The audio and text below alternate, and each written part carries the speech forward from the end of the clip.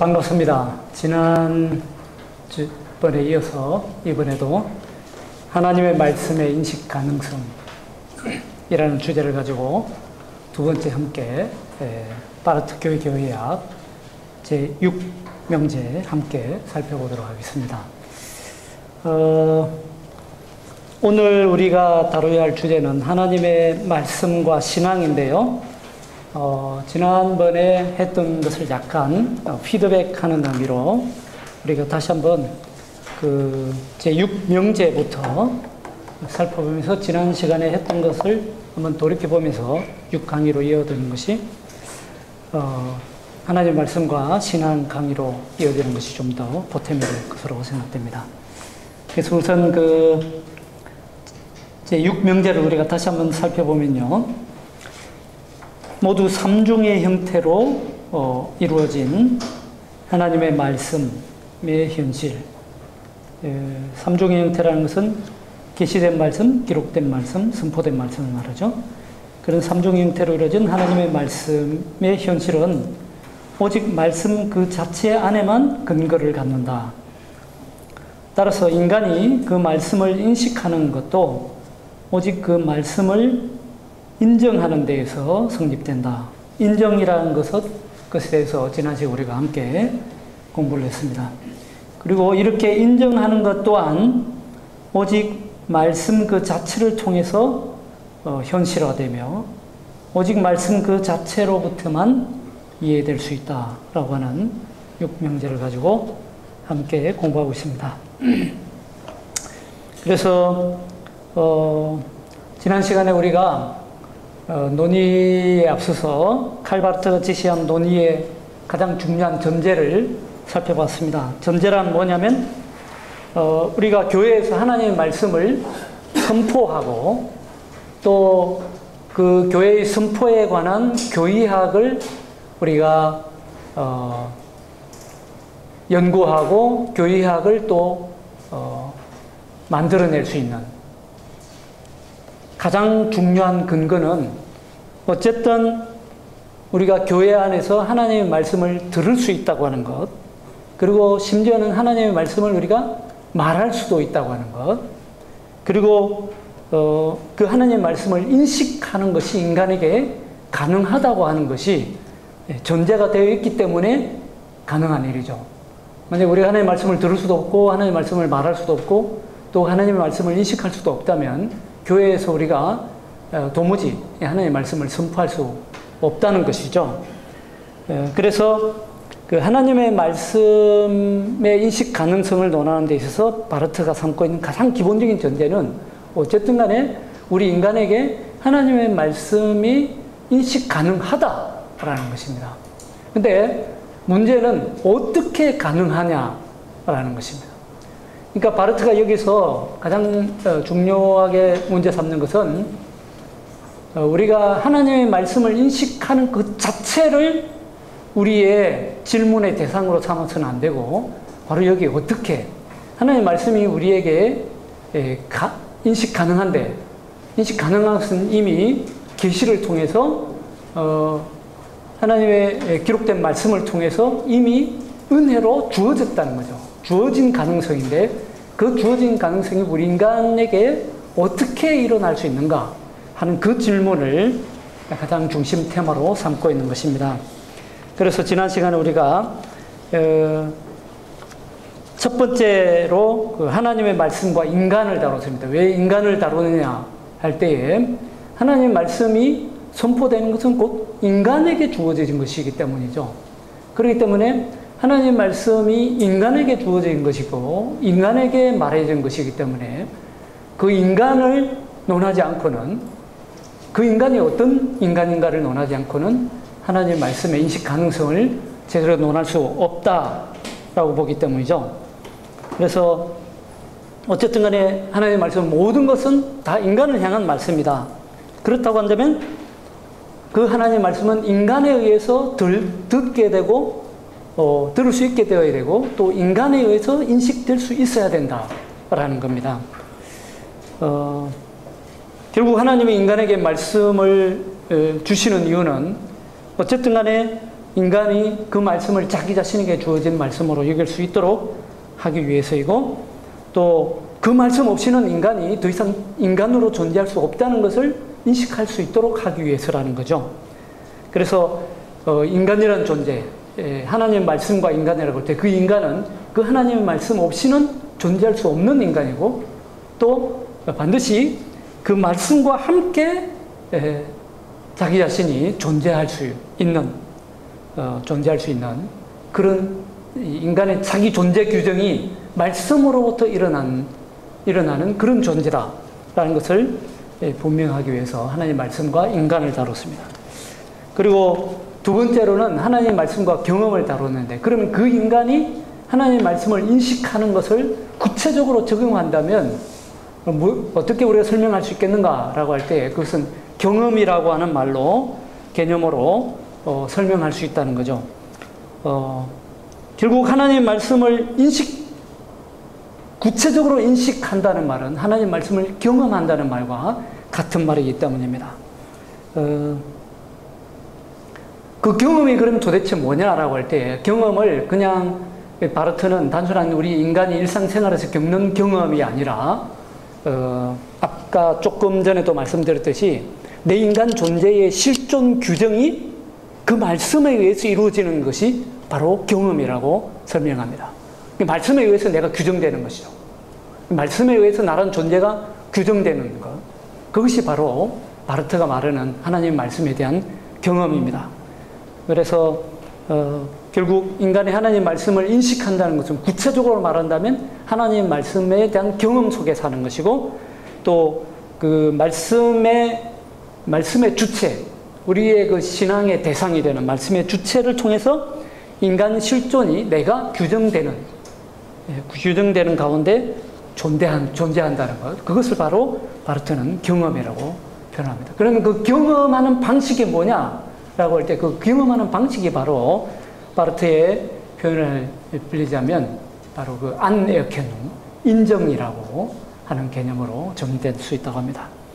어, 그리고 인정한다고 하는 것도 그것조차도 내가 하나님 말씀을 인정하기 전에 하나님 말씀이 말씀 안에서 나를 인정하는 것을 통해서 내가 인정되고 인정된 내가 하나님의 말씀을 인정하는 것 그것이 바로 바르트가 말하는 인정의 개념입니다.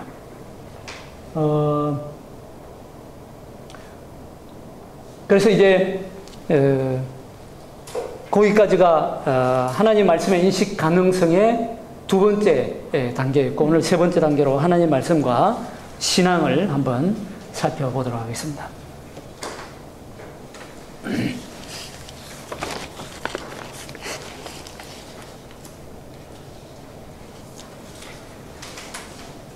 우선 하나님의 말씀의 인식은 어, 은혜로 일어난다라는 것이 전제입니다. 그런 전제하에서 우리는 그 은혜가 어떻게 일어나는가라는 것을 예, 묻게 됩니다. 오직 그렇게만 물을 수 있을 뿐이라는 겁니다. 즉, 우리의 물음은 하나님의 말씀의 인식 그 자체를 다루는 물음이 아니라 하나님의 말씀의 인식이 어떻게 가능한가에 대한 물음이라는 것입니다.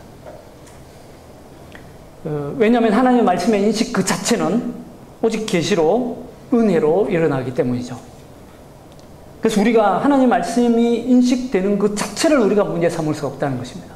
그건 이미 선물로 주어진 은혜이고 이미 계시 속에서 주어진 것이라는 것입니다. 현실로 이미 나타난 것이라는 거죠.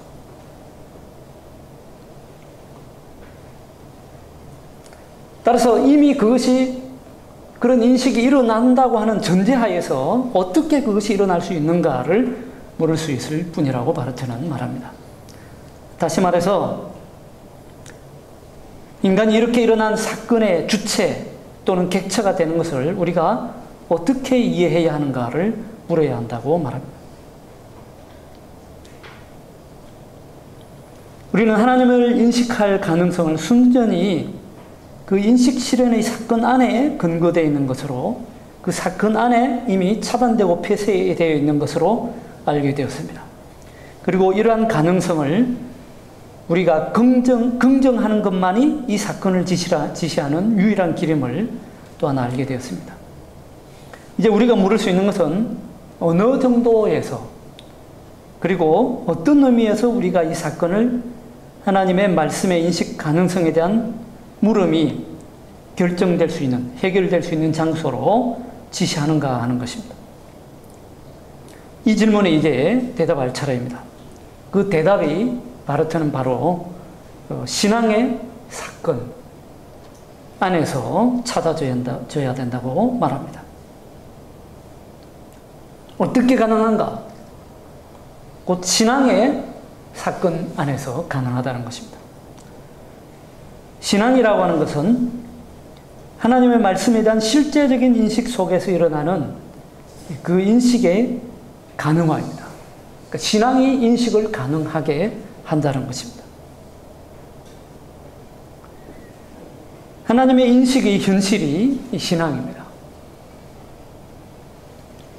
신앙 안에서, 즉, 신앙 안에 주어진 가능성으로서 우리는 하나님의 말씀의 인식 가능성을 이해해야 합니다.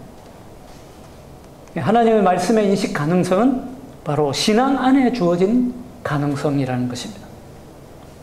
신앙의 사건 안에서 그런 인식의 가능성이 소위 말하자면 태어났고 가시화되고 또 찾아지고 발견됩니다. 그런 신앙의 사건을 바르트는 세 가지로 어, 구분해서 정리해서 설명합니다.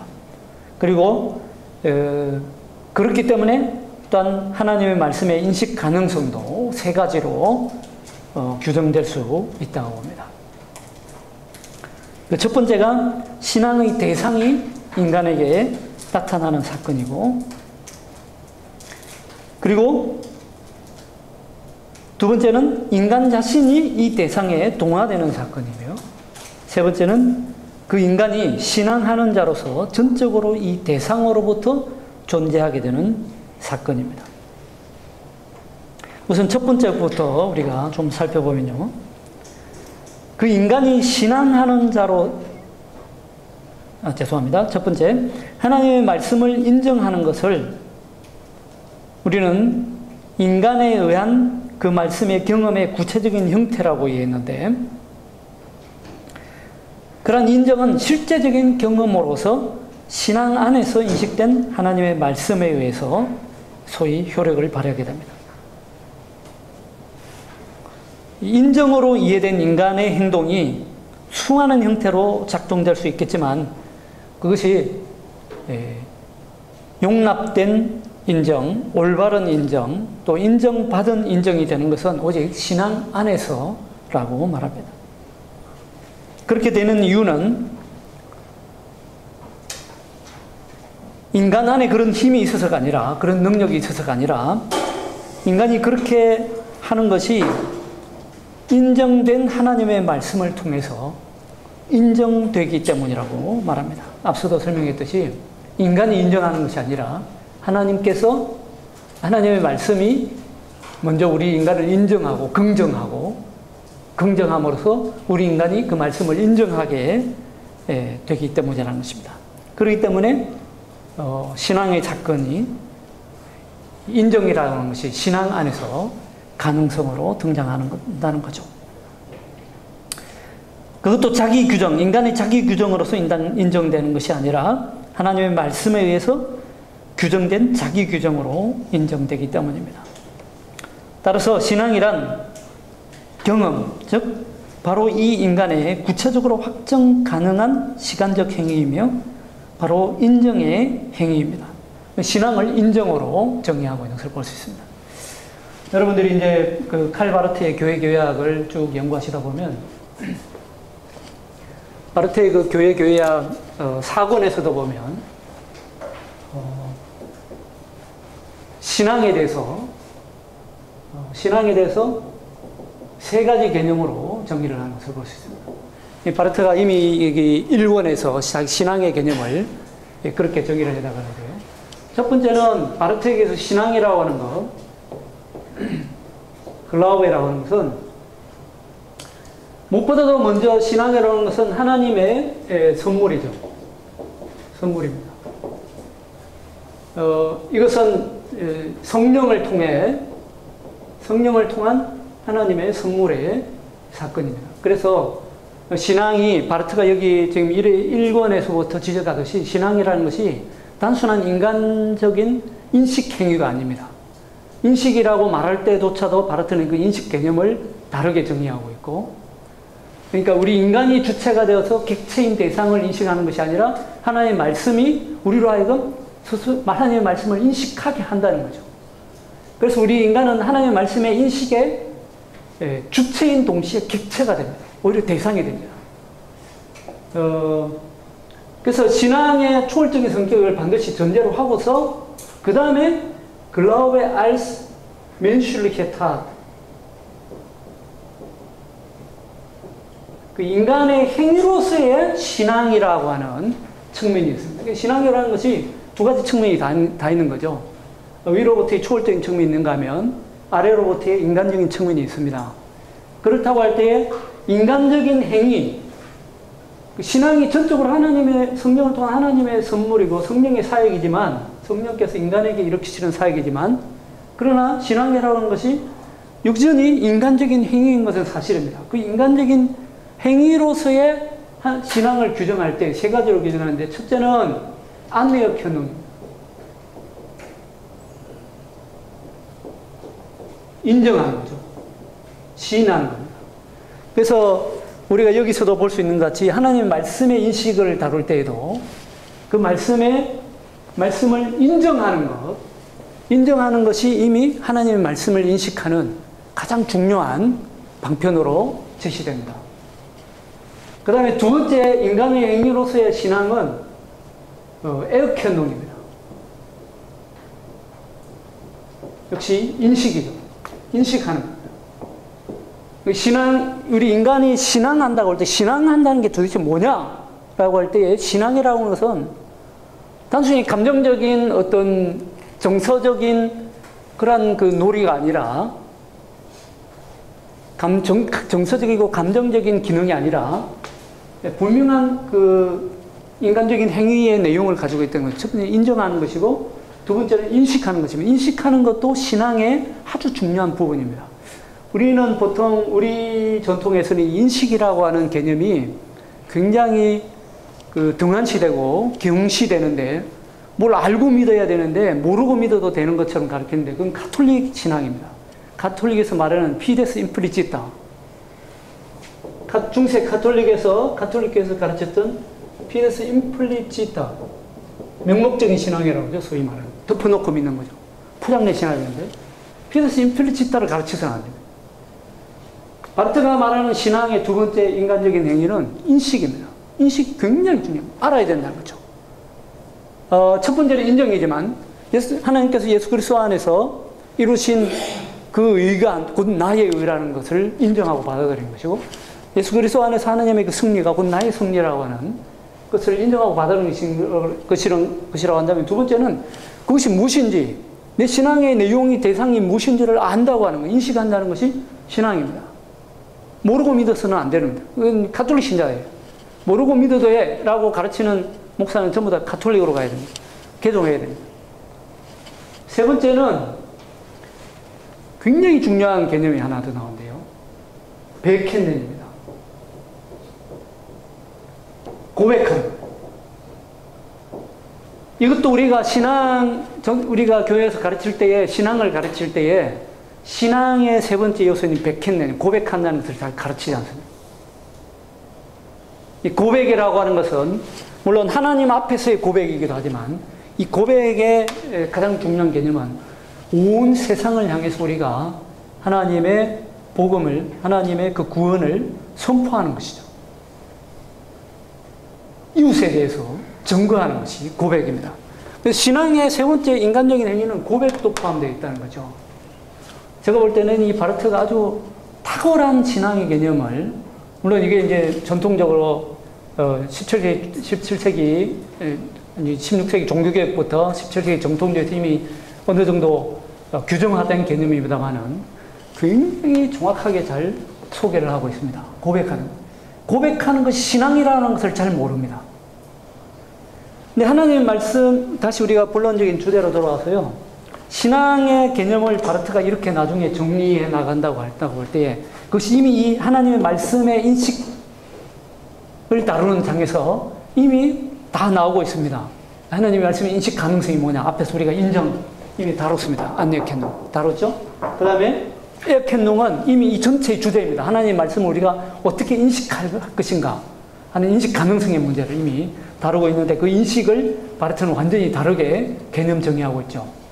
이 백켄넨이 나오는데 백켄넨도 역시 이 신앙의 예, 신앙 안에 포함된 개념입니다. 그래서 여기서 보면 어, 예를 들면 어, 하나님의 말씀을 인정한다든지 어, 그 하나님의 말씀을 말씀에 의해서 나의 존재를 규정하는 것으로 내가 스스로 지인한다든지 고백한다든지 하는 내용들이 이미 여기에 초기적으로 다 들어있는 것을 볼 수 있습니다.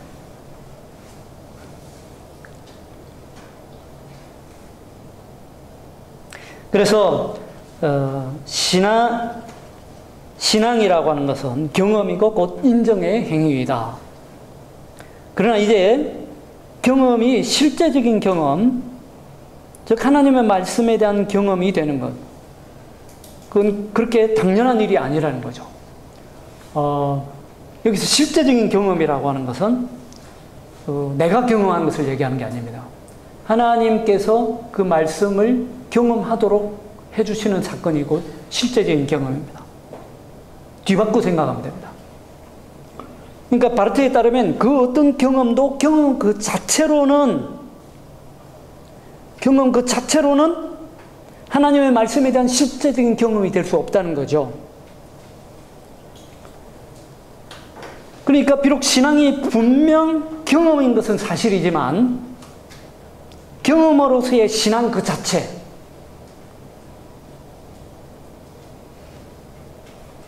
자체는 실제적인 경험이 아니라는 것입니다. 다시 말하면 인정하는 행위는 행위 그 자체가 하나님의 말씀에 대한 인정이 아니라는 것입니다. 오히려 신앙이 관계하는 것은 말씀, 즉 예수 그리스도 그 자신입니다. 왜냐하면 그리스도가 자기 자신을 믿음의 대상으로 내어주기 때문입니다. 그리고 그리스도가 신앙을 신앙으로 만들어주고 그리스도가 신앙을 실제적인 경험으로 만들어주기 때문입니다. 신앙이 신앙이 되는 것은 이러한 그 관계의 대상으로서 그러한 인정의 대상으로서 실제적인 신앙의 근거로서 하나님의 말씀이 이 신앙에 주어졌기 때문입니다. 신앙이 그러하다면 그 신앙 사건 속에 주어진 하나님의 말씀의 인식 가능성에 관하여는 다음과 같이 말할 수 있을 것입니다. 즉, 그러한 말씀의 인식 가능성은 인간이 자신의 편에서 실제적인 인식에 가져다 줄 수 있는 가능성이 아니라는 것입니다. 그러니까 인간 자신이 스스로 자기 편에서 인식하게 하는 가능성이 아닙니다. 신앙은 선물이지 재산 목록으로 삼을 수 있는 것이 아니라는 겁니다. 하나님의 말씀의 인식 가능성이 실제적인 인식의 대상에서 형성되고, 그러니까 실제적인 인식의 그 대상 때문에 하나님 말씀의 인식이 가능하다는 거죠. 어, 바로 이 사실이 우리가 신앙 안에서 우리에게 주어진 가능성으로서의 하나님 말씀의 인식 가능성에 관해 말하는 첫 번째 내용입니다. 두 번째 내용을 살펴보면요.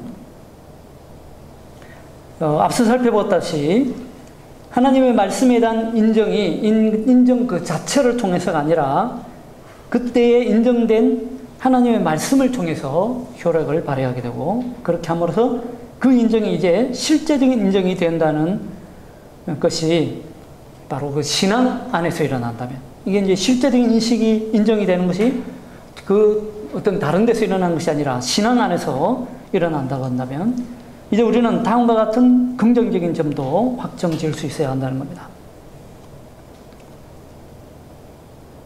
즉, 신앙 안에서 인간들은 하나님의 말씀에 대한 실제적인 경험을 하게 되고, 유한이 무한을 담을 수 없다는 명제도, 죄인은 하나님의 말씀을 담을 수 없다는 명제도 이 문장으로부터 진지한 결론을 끌어내는 일을 막을 수 없다는 것입니다. 자, 앞에서는 우리가 어, 유한이 무한을 담을 수 없다는 명제를 철저히 긍정했습니다. 인식이라는 문제를 다루면서 우리 인간의 인식이 하나님 말씀을 담을 수 없다는 거죠. 유한이 무한을 담을 수 없습니다. 그걸 먼저 철저하게 부정적인 측면에서 측면에서 앞에서 우리는 예, 바르트가 철저히 그러한 가능성을 부정하고 있는 것을 봤습니다. 앞에서 우리가 말하는 그 데카르트 비판에서 그것을 잘 살펴봤죠. 근데 이제는 어 그런 그 유한이 무한을 담을 수 없다. 혹은 죄인이 하나님의 말씀을 담을 수 없다. 이걸 처음에 에, 인정하고 한 다음에 이제 와서는 신앙 안에서 인간은 하나님의 말씀을 이제는 실제로 다른 데서 아니라 신앙 안에서 실제로 경험할 수 있다라고 하는 긍정적인 가능성으로 넘어가게 됩니다. 그게 어떻게 가능하냐? 오직 신앙 안에서만 가능하다는 것입니다.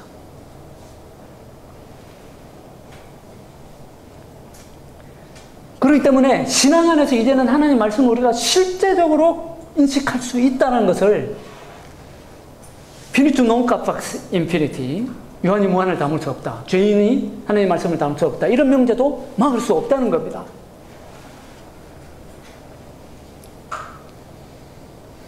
왜냐하면 이제 신앙 안에 사는 인간이 하나님 말씀을 실제적으로 인식할 수 있다라고 하는 이 말은 인간의 수용 능력과 관련된 것이 아니라 인간의 전적인 수용 무능력을 전제로 하고 있는 바로 그 인간과 관련되어 있는 것이기 때문입니다.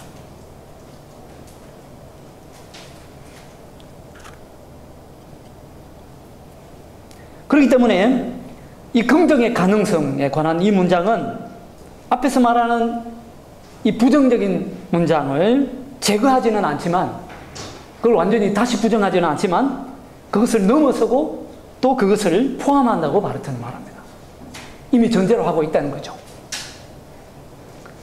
그래서 신앙의 가능성이란 그것이 신앙의 현실 안에 안에서 인간에게 주어진 것처럼 오직 하나님이 인간에게 빌려주는 것이다.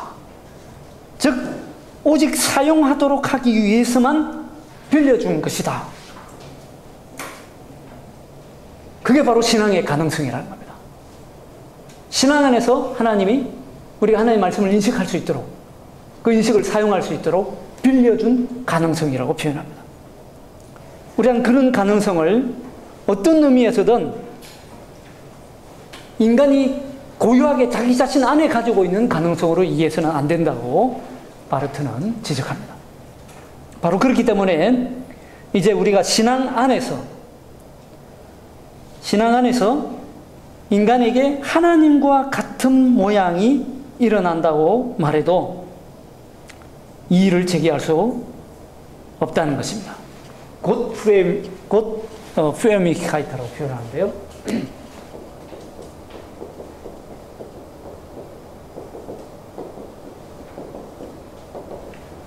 어, 하나님과 같은 모양이라는 뜻이죠. 하나님과 같은 모양. 그러니까 이거는 imago Dei 하나님의 형상이라는 말과 유사한 개념으로 이해를 하시면 됩니다. 하나님의 형상.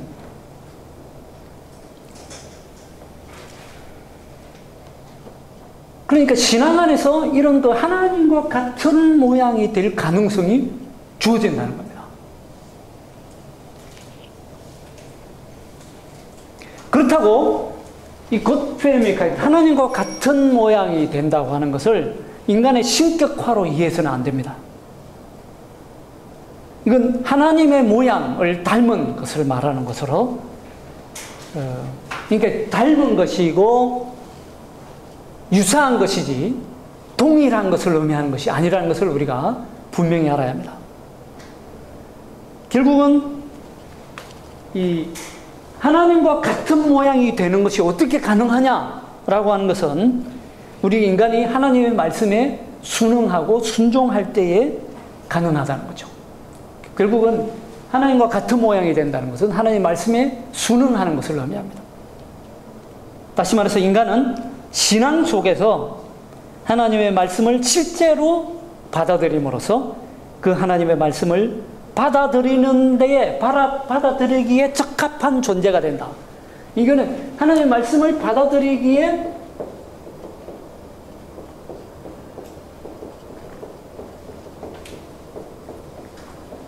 적합한 존재라는 말과 같은 말입니다.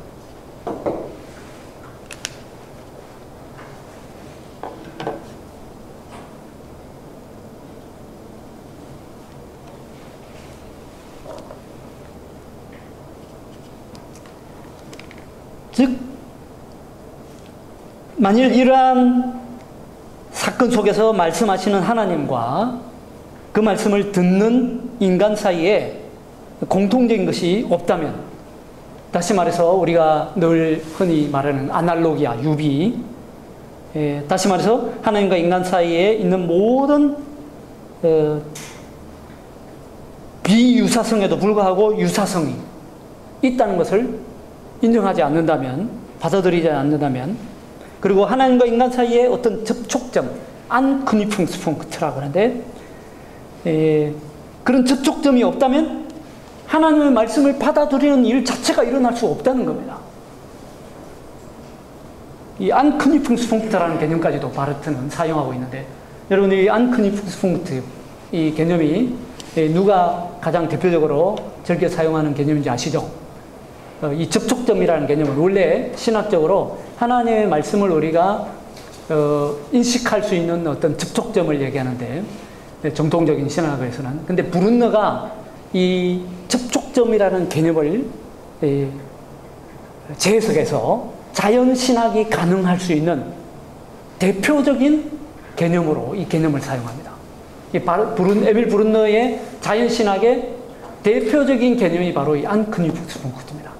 하나님과 인간 사이에 접촉점이 있지 않느냐. 그게 꼭 바르트처럼 말씀을 통해서만 가능하느냐. 말씀 외에도 인간에게, 하나님에게, 인간에게 주어진 하나님과 인간의 어떤 접촉점이 있지 않느냐. 거기서부터 바르, 부르는 자연신학을 형성해 가고 있는 거죠.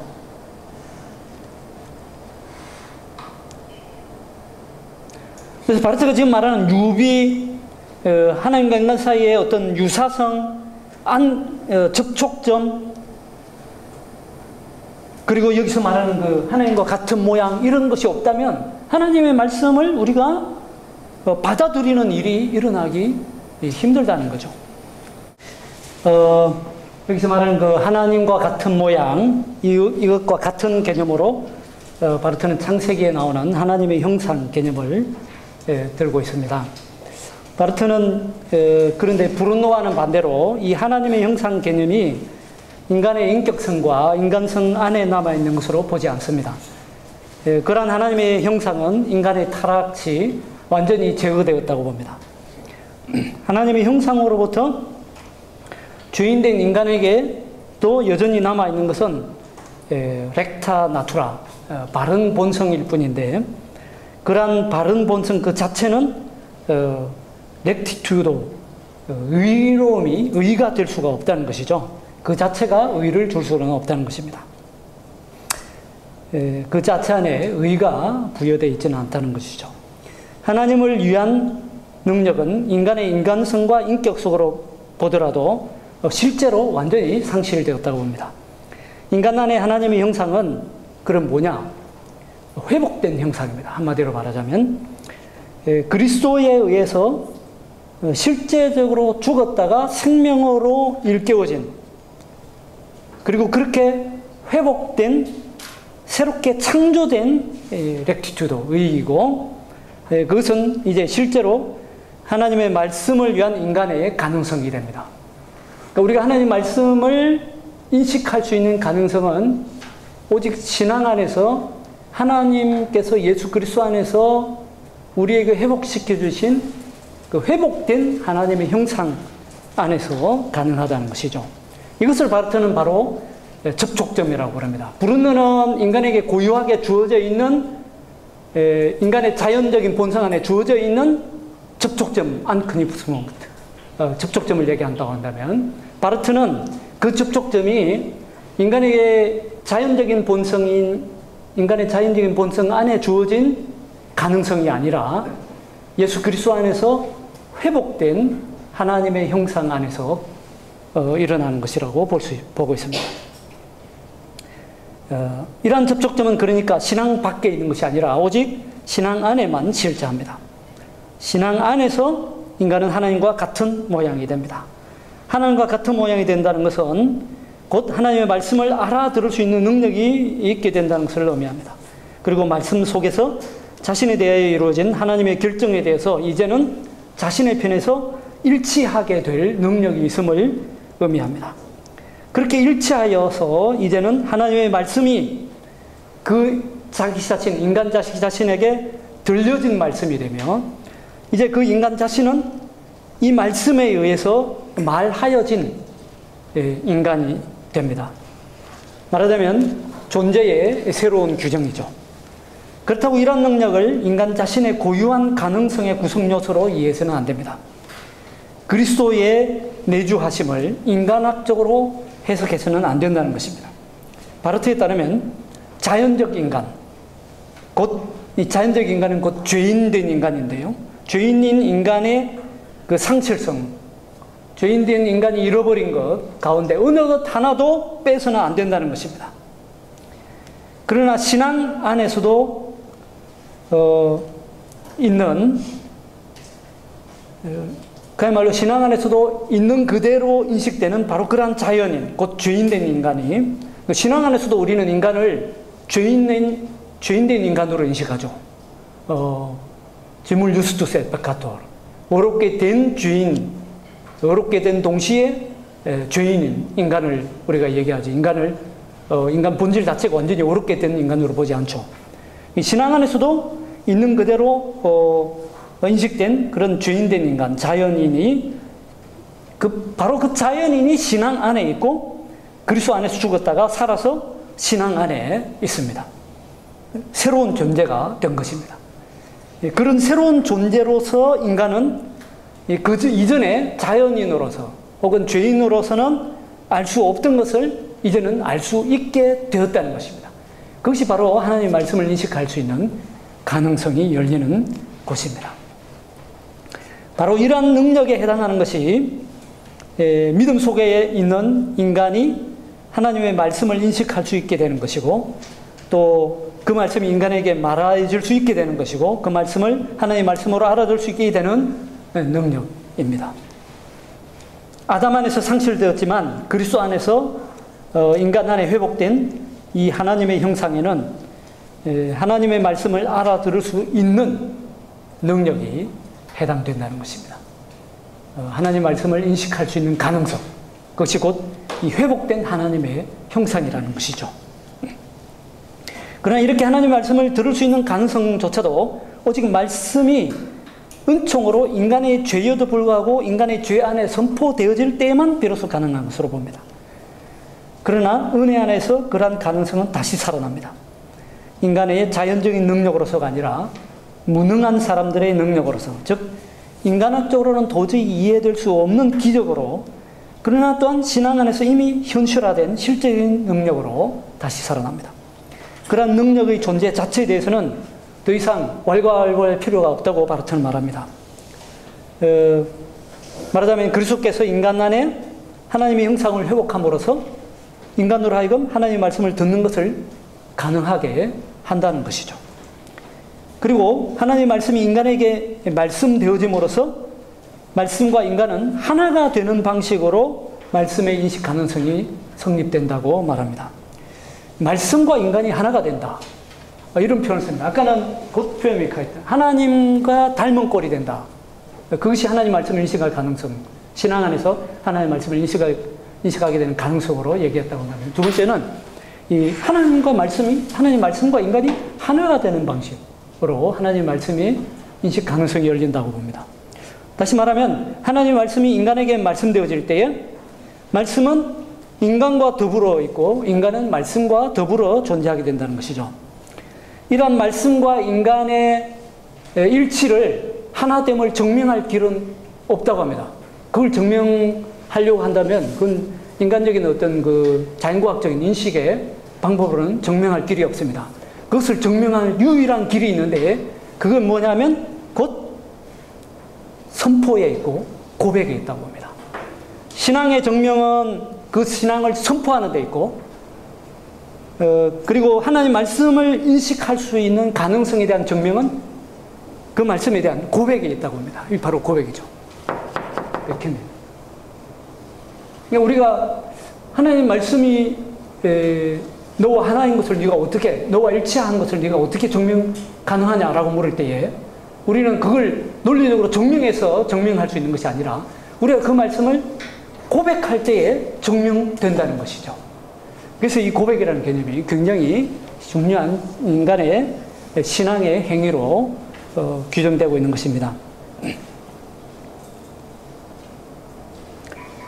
어, 신앙과 고백 속에서 하나님의 말씀은 인간의 생각과 인간의 말이 된다.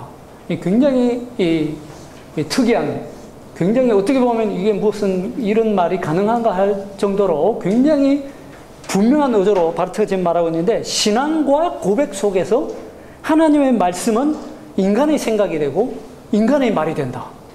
이런 긍정의 가능성을 굉장히 크게 열어놓고 있는 것을 볼 수 있습니다. 근데 물론 전제가 있죠. 그 하나님의 말씀과 인간 사이에 있는 그 무한한 그 비유사성, 무한한 차이, 예, 무한한 질적인 차이, 초기의 바르트식의 표현을 한다면 하나님 말씀과 인간 사이에 있는 그 무한한 질적인 차이와 어, 무한한 그 비동질성을 인정하는 전제하에서 그렇다는 것입니다. 그러니까 인간과 하나님 말씀이 완전히 같은 것이 되는 것이 아니라 완전히 질적으로 다른 것을 인정하는 전제하에서 하나님의 형상이 그리스도 안에서 그리스도께서 우리 안에 하나님 형상을 회복했다고 하는 그 회복 속에서 회복했다고 하는 그 믿음 속에서 하나님 말씀은 비로소 우리 인간의 표현이 되고 인간의 생각이 된다는 것입니다. 인간의 표현이 되고 인간이 생각이 되는 것이 뭐냐? 결국 그것이 고백이죠. 고백하는 것입니다. 내 말로 고백하는 것이고 내 언어로 인간의 언어로 세상에 하나님의 구원의 승리를 선포하는 것이죠. 그게 설교이고 그것이 곧 고백이라는 것입니다.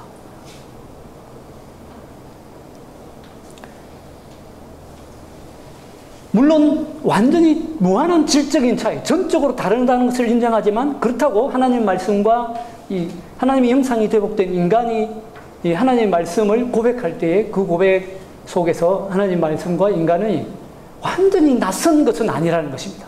그렇기 때문에 유비를 얘기하는 거죠. 아날로기야. 이렇게 에, 따라서 하나님의 말씀과 인간 인간의 하나됨은 일치하는 것은 인간의 내면적인 것도 아니고 어떤 초다인적인 물리 현상도 아니라고 설명합니다. 그럼 뭐냐? 그것은 철저히 약속에 대한 기억이고 또 그 약속이 반드시 성취될 것이라고 하는 희망으로서만 가능하다고 바르트는 정의합니다. 어, 여기서 잠깐 우리가 어, 첫 번째 것과 두 번째 것을 정리하고 넘어가자면요. 자, 하나님 말씀을 인식할 가능성은 신앙 안에 주어지는 가능성이라고 말했습니다. 예, 그런 가능성을 바르트는 어, 신앙 안에서 인간이 하나님과 같은 모양이 되는 것이라고 표현했습니다. 자, 하나님과 같은 모양이 되고, 어, 또 하나님의 말씀과 인간이 하나가 되는 그런 방식으로 하나님의 말씀의 인식 가능성이 열렸는데, 어, 그런 그 하나님의 말씀에, 죄송합니다. 주의 전화.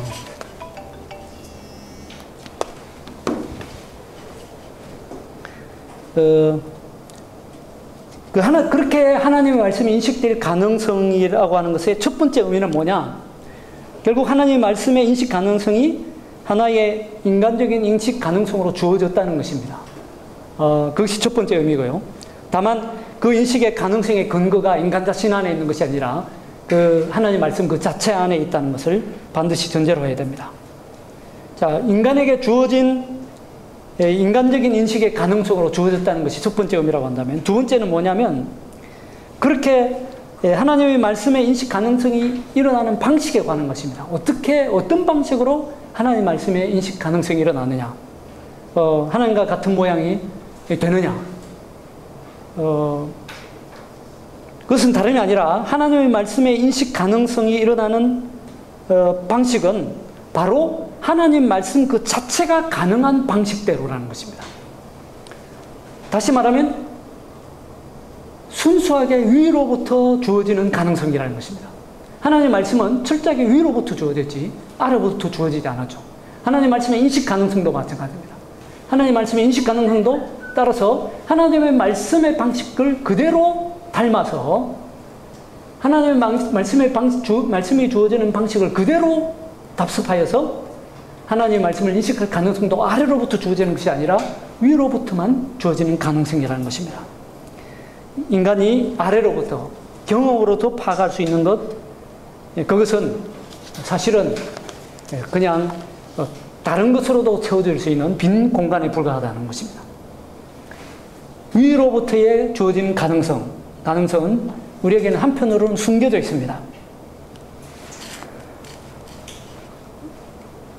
예를 들면, 바르트는 그런 예를 드는데, 막대기를, 막대기가 물 속에 들어가면 이렇게 굽어진 것으로 보입니다.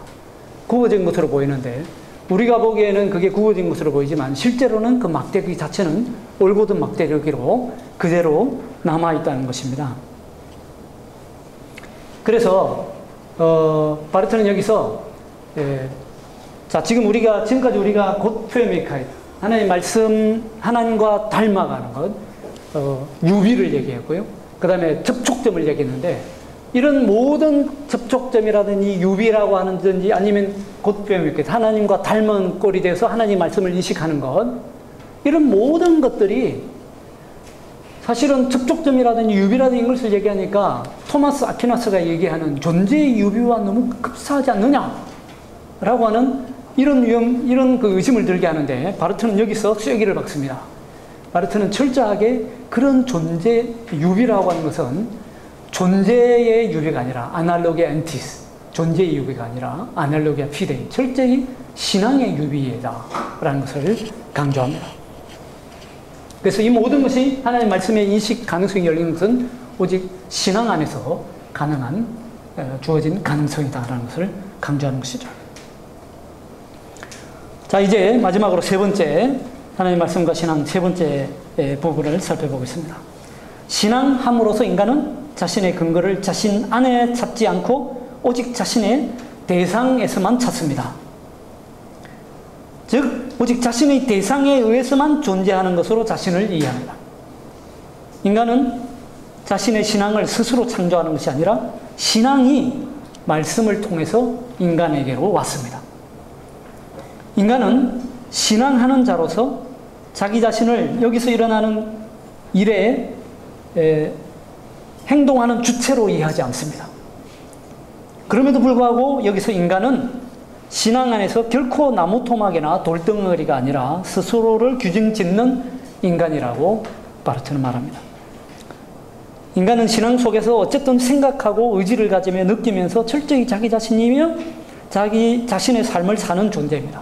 그러나 신앙 안에서 인간은 바로 이러한 결코 축소될 수 없는 자기 규정과 자기 자신을 하나님의 말씀에 의해 규정된 존재로 이해하게 되며 자신의 자유와 자신의 삶 또한 하나님의 말씀에 의해서 규정된 자유이고 하나님의 말씀에 의해서 규정된 삶으로 이해하게 됩니다. 그래서 인간은 믿음으로서 행동합니다. 그러나 그가 행동함으로써 믿는 것, 그것은 철저히 하나님의 행동이라고 어, 바르트는 규정 짓습니다.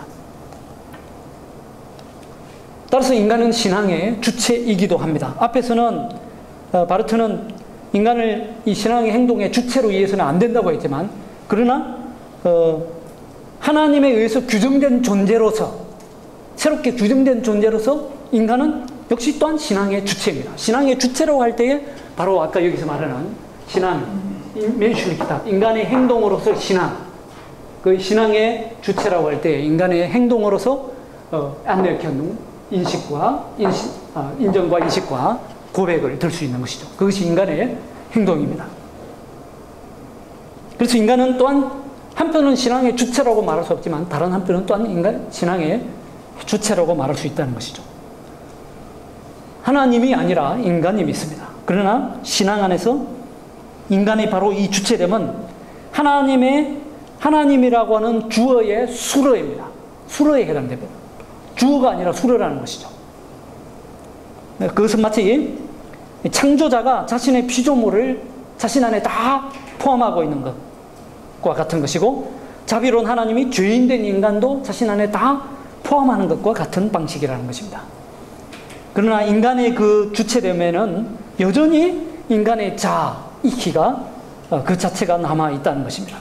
단지 그 주체, 자라고 하는 것은 어, 하나님이라고는 주체, 주체, 주체인 너, 하나님이라고는 주체인 너로부터 존재하는 주체입니다. 그러니까 너가 있으니까 존재하게 되는 나라는 것이죠. 그러니까 이 두의 관계에서 두로서의 주, 두가 주체인데 그 주체가 있기 때문에 에, 새로운 주체인 나가 존재하게 되는 그런 주체라는 것입니다. 이를 인식의 문제에, 문제에 우리가, 하나님 말씀의 인식의 문제를 지금 우리가 다루고 있기 때문에 인식의 문제에 적용하게 되면 하나님의 말씀은 스스로를 인식 가능한 것이 되게 함으로써 인식 가능하게 됩니다. 그러니까 우리가 인식하기 때문에 하나님의 말씀이 인식이 되는 것이 아니라 하나님의 말씀이 스스로를 인식하게 내어줌으로써 인식 가능하게 된다는 것이죠. 첫째 되고 본래적인 주체는 따라서 하나님이라는 것입니다. 예, 첫째 되고 본래적인 주체가 하나님일 때에 둘째 되고 이차적인 주제가 주체가 인간이 되는 것이죠. 계시록 3장 20절에 따르면 인간은 마음의 문을 열어야 합니다. 그러나 그것이 실제로 일어나는 것은 사실로 보나 가능성으로 보나 밖에 있는 그리스도의 사역이라는 것입니다. 또한 그리스도는 닫힌 문을 통해서도 들어갈 수 있었다는 사실을 우리가 염두에 두어야 합니다. 예, 이상으로 어, 하나님의 말씀과 신앙 부분 어, 이상으로 다루겠습니다. 어, 감사하고요. 끝까지 예, 지금 강의를 들으시느라고 어, 수고해 주셔서 감사드리고 혹시 질문하실 내용이나 함께 토론했으면 싶은 내용이 있으면 지금 하시기 바랍니다. 네.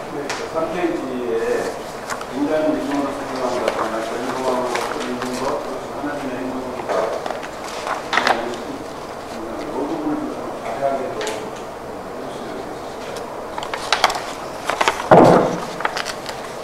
내가 잘 못 들었는데. 예, 그 인, 인간은? 인간은 믿음으로서 행동한다. 그 행동함으로써 믿는 것, 그것은 하나님의 행동이다.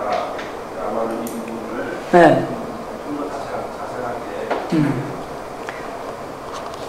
어,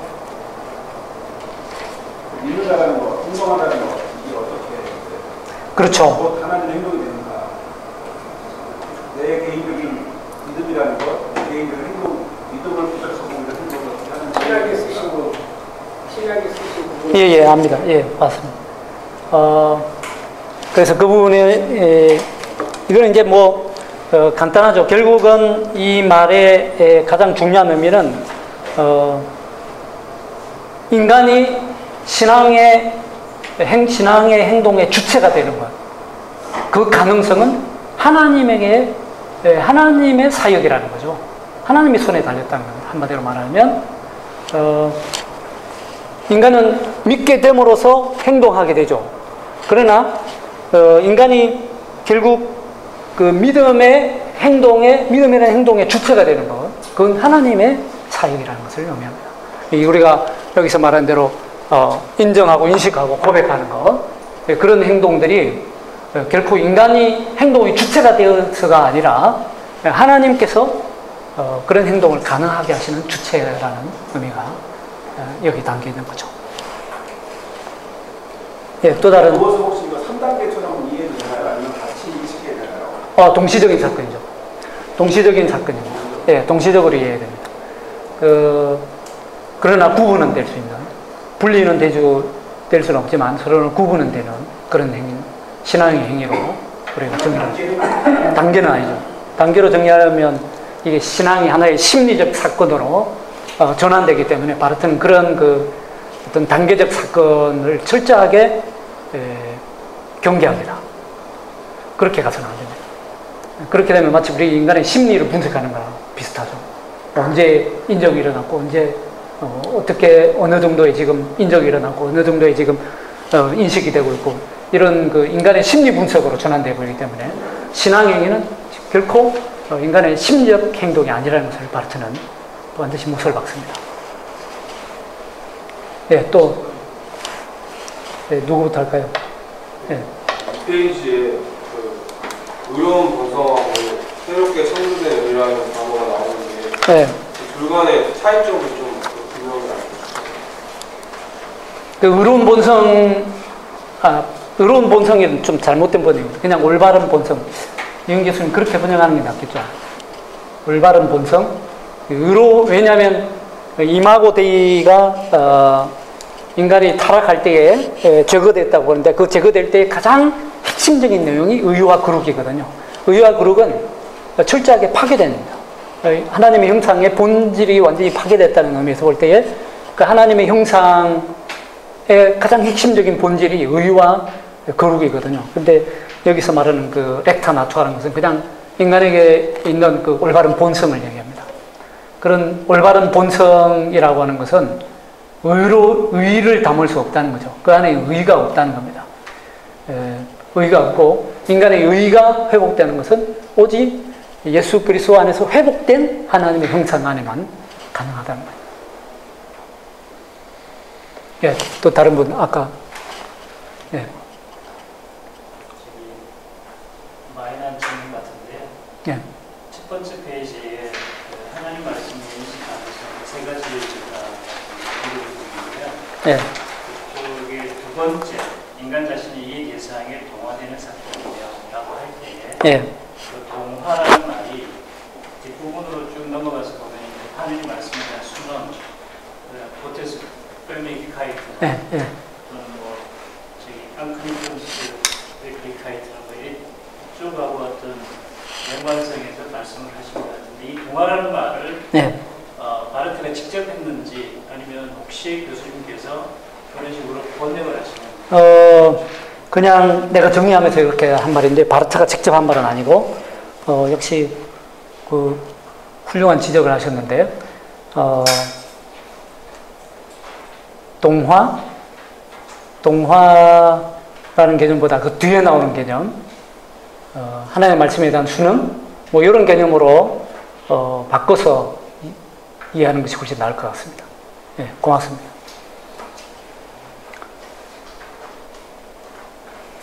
교수님, 예, 교수님. 어, 그 말씀의 사건이라는 말을 이분이 잘 쓰고 예, 예. 또 신앙의 사건이라는 말도 쓰- 쓰더라고. 네네. 어, 근데 그 말씀의 사건이 안 일어나면은 신앙의 사건이 안 일어날 것 같은 거죠. 그렇죠. 예, 맞습니다. 어, 그거 잘 모르겠고.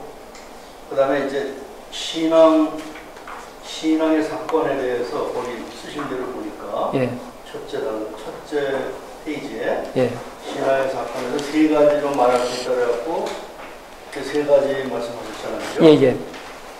근데 이제 두 번째 가면은 예. 포트 페르미 히카이트 이마호데이가 이제 회복되는 그 비슷한 얘기가 이제 나오잖아요, 그죠? 네네. 그리고 이제 보통 내추럴맨의 렉타 나투라 가지고는 안 되고 예, 그 이제 새롭게 창조된 우리 이런 말도 나오 잖아요. 예, 어, 근데 그 여기 이제 순신앙에 대해서 얘기를 하고 있잖아요. 그죠? 네네. 이제 알트 책에서 글라우벤스 게호르삼이라는 말을 많이 예, 들었- 예. 읽었거든요. 예, 예. 그래서 이제 이거 이게 성화, 성화, 칭의하고 성화 연구 학술 논문을 하셨잖아요. 예, 예. 근데 이제 여기서 성화, 성화의 시작으로 봐야 될 것 같은 네 네. 저는 종교개혁을 전공했는데 예, 근데 이제 세 번째로 가보니까? 제 말로 바꿔서 얘기하면은 그러니까 이제 수동적이긴 하지만 아주 전인적으로 또 능동적으로 예, 에, 지정의가 전부 포함한 전인적인 응답을 하는 걸로 나오잖아요, 그죠? 네네. 근데 이제 쉽게 신앙 사건의 세 가지 얘기라고 말- 얘기인가? 세, 세 가지 그걸 말할 수 있다고 얘기하는데 예, 이게 두 번째 부분은 성화 그러니까 이제 근데 이제 칼발트에 계셔서 글라우벤스 개홀삼 부를 때 예, 예. 세 번째 요소하고 두 번째, 두 번째, 세 번째가 거의 포함될 것 같아요. 네. 저- 제가 생각할 때. 예. 근데 이제 그 칭의하고 성화 그 영, 전공하셨는데 요거를 그거 관련해서 하면은 예. 아직 그 처치 도그마틱 4번으로 발전 안 한, 요거 몇 년, 요게, 이게 쓰기는 32년.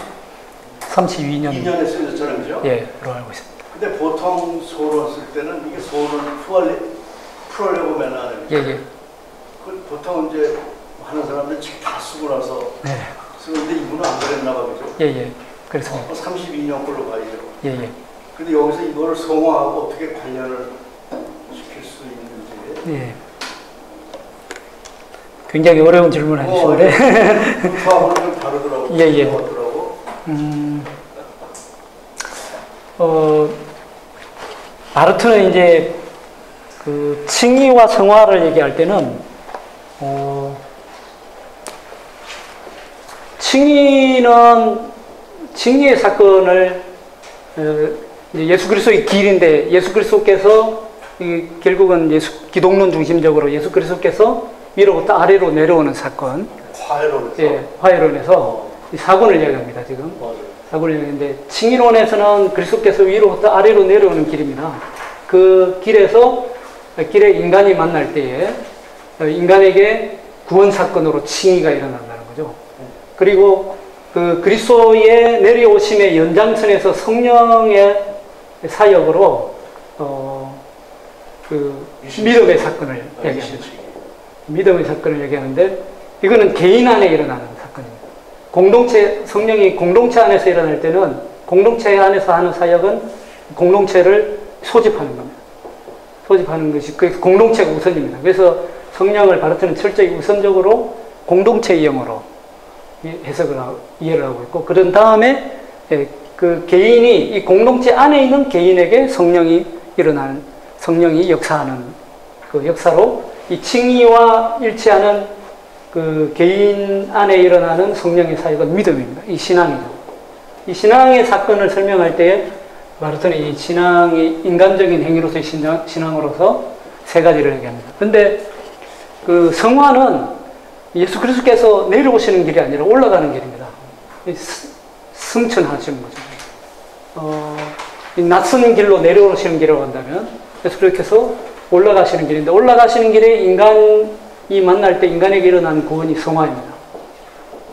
어, 이 인간이 걸어오는 길과 반대되는 길이죠. 인간은 여기서 이제 죄론이 형성되는데 죄론으로 볼 때 인간의 인간이 이 자연적 인간이 죄인데 죄인된 인간인데 인간은 끊임없이 하나님의 자리에 올라가려고 하는 그 교만의 죄가 있죠.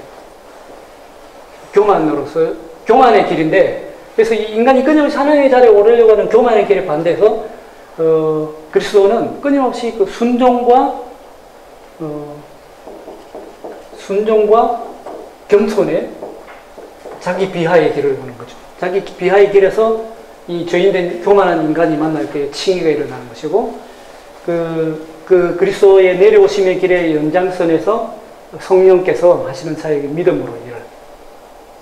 근데 어, 성화는 예수 그리스도께서 이제 어, 이런 그 비천한 몸에 머물지 아니하시고 주인이셨지만 주였었지만 이 종이 된 커넥트 종이 된 길이 에, 길이라고 한다면 첫 번째가 칭의 길이. 성화가 성화라고는 구원의 사건이 일어나는 길은 종이었는데 종의 그 비천한 선분에 머물지 않냐고 말하자면 그 인간의 어, 인간의 그 그런 야만성이라든지 어, 본능 본능에 머물지 않냐고 끊임없이 성실하심으로 하나님의 높고 높은 자리에 오르시는 주가 되는 것이죠. 주셨는데 종이 되었고 종이셨는데 주가 된 거죠. 그 여기에 인간은 그 예수 그리스도의 성실에 비하면 인간은 교만고 태만 태만의 에, 태만의 존재가 인간의 죄인된 인간의 형태죠. 근데 이 예수 그리스도께서 이 올라가시는 길에 해당하는 성령의 사역으로는 성령의 사역은 역시 두 개로 어, 이루어지는데 공동체에서는 공동체를 이제 에, 부흥시킵니다. 부흥시키고 성, 성숙시키는 거죠.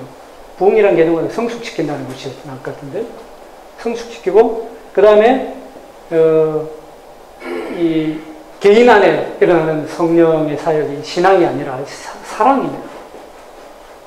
사랑이기 때문에 어, 지금 여기서 말하는 그 인식적인 신앙의 인식적인 차원을 얘기한다면 예, 주로 이 칭의 부분에 예, 말하자면 연결된다고 할 수 있고요. 자, 성화는 바르트가 직접 얘기하는 표현에 따르자면 성화는 예, 기독 그냥 윤리가 아닙니다. 가톨릭에서 말하는 그 도덕적인 행위라든지 선행이라고 하는 선행, 단순한 우리가 성화라는 얘- 개념을 얘기할 때 성화라고 하면 칭의에서는 우리가 하나님에게 전적으로 의존하- 의존하는 것 같은데 하나님의 은혜에 전적으로 의지하는 것 같은데 성화에 들어오면 하나님의 은혜에 전적으로 의지하지 않아도 우리가 어렵다고 인정을 받은 자로서 그리스도를 예수 그리스도를 구주로 믿는 자로서 우리가 이제는 가능하다고 보는 인간적인 행위의 가능성으로 보는데 바르트는 이- 그것이 그것을 철저하게 거부합니다.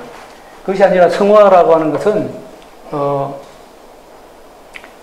우리 안에 있는 도덕적이나 윤리적인 선행의 가능성이 아니라 어, 성화라고 하는 것은 철저하게 에, 그리스도와의 연합. 이 칼빈의 표현인데요. 칼빈의 표현을 그대로 가져서 그리스도와 연합을 이루는 것. 그것이 성화의 가장 출발점이고 그렇기 때문에 어, 기독교인의 성화의 출발은 사랑에서 출발해야 된다고 어, 설명합니다. 그 기독교 윤리의 출발도 사랑에 있다고 봅니다. 그래서 성화라고 하는 개념을 얘기하면서 곧바로 뭐 기독교 윤리로 넘어가서는 안 된다고 어, 안될 것을 안 된다고 경계합니다. 그러니까 성화라고 한다고 해서 바로 그냥 어, 우리가 뭔가 착하고 선행 일을 해야 되지 않느냐. 이제는 우리가 하나님의 의지, 은혜에 의지하지 않아도 뭔가 우리가 할 수 있지 않느냐. 이- 이런 가능성을 얘기하는 것이 아니라 칭의가 하나님의 은혜에 전적으로 의존하듯이 성화도 역시도 하나님의 은혜에 전적으로 의존하기 때문에 이걸 두 개를 가르쳐서 어, 어, 두플렉스 그라치아 이중 은혜라고 해요. 두플렉스 그라치아. 그리고 여기서도 이제 그 성화에서도 인간의 행동을 얘기할 때 행위를 얘기할 때 선행이죠. 이 인간의 선행조차도 어렵다 인정을 받아야 된다고 합니다. 어렵다 인정을 받아야 된다고 얘기합니다. 보통 우리가 생각하면 내가 이제 그리스도인이 되었기 때문에 예수 안에서 예수 믿고 어렵게 인정을 받았기 때문에 내가 하는 행동은 곧 의로운 행동이라고 생각하는데 그게 아니라는 거죠. 성화의 본질이 오히려 여기서 일어나는 인간의 행위조차도 의롭다고 인정을 받아야 된다고 합니다. 그래서 굉장히 재미있는 표현을 쓰는데요. 그 루터가 마틴 루터가 simul iustus et peccator라는 개념을 쓰잖아요. 마틴 루터가 simul iustus et peccator 의롭게 된 동시에 죄인이라는 거죠. 근데 바르트는 여기다 하나 더 붙여서 simul sanctus 에페카토라는 개념도 성립이 가능하다고 합니다. 왜냐하면 우리가 어- 거룩하게 된 동시에 죄인이라는 것이죠. 마치 거룩하게 됐다 그러면 내가 성인이 된 것냥 본질적으로 내가 인간 본질이 성인이 된 것냥 착각을 하는데 그렇지 않다는 겁니다. 그건 그야말로 카톨릭이 에, 잘못 저지른 오해한 성화 개념이라는 것입니다. 그래서 중세 가톨릭 교회가 로마 가톨릭 교회가 오류를 범한 것은 칭의론에만 있는 것이 아니라 성화론에도 있다라고 그렇게 바르트는 지적합니다. 칭의론도 틀렸고 성화론도 잘못 오해했다는 거죠. 그래서 제가 보기에는 그 성화를 인간의 창조에 주는 경우가 내내 칭의나 성화를 하나님에게 보니까 아까 이영기 교수님 질문하는 거는 라우데스 베후르잠이라는 얘기 아니냐 성화 예수 그리스도 성화가 예수 그리스도를 이제 신분 자체가 엑셀텐치어 그렇게 되잖아요. 네, 그 신분 자체가 신분 자체가 하나님의 자녀로 아들로 성화되어지거든요. 네. 근데 그 자체가 인간이 어떤 것을 갖다가 뭐 성, 성을 공격을 쌓아서나 그것에게 되는 게 아니라 하나님의 말씀을 믿음으로 순종한 것으로 인해서 성화가 되어진 거기 때문에 예수 그리스도 그러니까 이를 예컨대 겟세마네 동산에서 예수님이 내 뜻대로 마시고 당신의 뜻대로하면서 온전히 하나님의 말씀에 순종함으로 인해서 죽음에서 구하라 하나님의 자녀가 된 것처럼 네. 우리들의 모든 그이 상화도 무슨 율법적으로 뭘 해가지고 그거를 해서 상화가 되는 게 아니라 그렇죠. 예, 하나님의 말씀을 철저하게 순종함으로 인해서 예수가 그렇게 되어졌던 것처럼 우리도 그렇게 된다는 거죠. 그렇죠. 예, 맞습니다. 그런 의미에서 본다면 곧프레미카이트라든지 이런 그, 어, 어, 그 아날로기아 개념이라든지 이런 개념이 우리가 성립 가능할 것 같습니다. 브루노와의 그 논쟁에서 예, 그 오해를 오해라고 할까? 정확한 이해를 위해서 아까 안크니스 punk트 브루노가 얘기한 것은 이 하나님 형상론으로 끌고 나가는 게 알- 알게 됐는데 바르트가 얘기하는 안크니스 punk트가 구체적으로 뭔지 그걸 좀 설명을 좀 예, 바르트가 얘기한 안근육punk트는 곧 어, 예수 그리스도 안에서 회복된 하나님의 형상과 같은 개념이다. 그러니까 인간 안에 주어진 어, 자연적 본성 안에 주어진 하나님의 형상이 아니라 예수 그리스도 안에서 예수 그리스도께서 우리 안에 회복시켜 놓으신 하나님의 형상과 같은 개념이고 그것은 결국은 여기서도 정확하게 규정해 줬는데요. 하나님의 말씀 말씀을 받아들이기에 적합한 어, 존재 존재가 되는 것 그것이 에, 한 깐크니크스 punk트죠. 바르트가 해석하는